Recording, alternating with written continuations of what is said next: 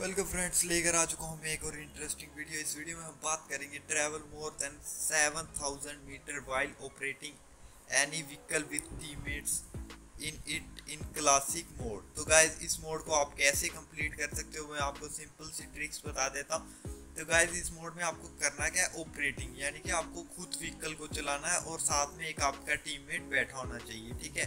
कोई भी आप टीममेट एक रखो गाइज़ दो रखो, वो आपकी मर्ज़ी है। मगर ऑपरेट गाइज़